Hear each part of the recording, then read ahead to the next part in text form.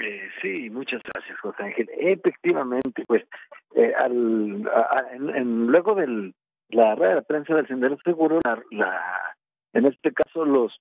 periodistas le preguntaron al gobernador su opinión de que el presidente de la República, Enrique Alfaro, eh, perdón, Andrés Manuel López Obrador, haya nombrado a un militar eh, a un exmilitar en el mando de la Guardia Nacional y esto fue lo que respondió al respecto el gobernador de Jalisco. Julio, platícanos tú, por favor. Eh, bueno, en este sentido, lo que señala es que hay un total respaldo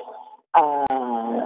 a, lo que eh, el presidente López Obrador decidió. Eh, lo que comentó eh, fue que el presidente de la República tiene todo el derecho y la obligación de pues nombrar a quien considere para estar al frente de la Guardia Nacional, señaló que el debate del perfil o de la formación es un tema superado en el Senado. Lo que importa es que se garantizó el carácter civil de la Guardia Nacional, es decir, no estarán los elementos sujetos al fuero militar, sino al fuero civil, y por lo tanto eso ya este, los deja tranquilos. Dice que si el presidente pues decidió tener a una persona con esta formación, eh, pues tiene el derecho y la responsabilidad de tomar la, la decisión de quien lo considere y contará con el respaldo incondicional tanto del gobierno del estado como los presidentes municipales de la zona metropolitana y en este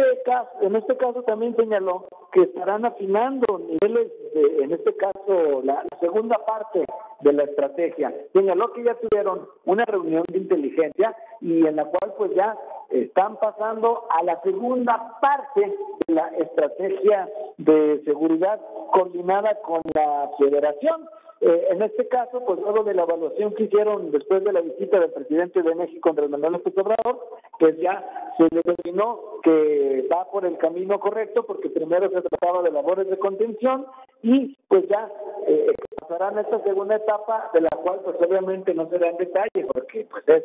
en este caso un renglón sensible, el de la seguridad, eh, pero pues ya se estará entrando a esta segunda etapa de la estrategia de seguridad y pues en resumidas cuentas respaldan la decisión del presidente de la República en cuanto al nombramiento de quien estará al cargo de la Guardia Nacional, José Ángel, el reporte.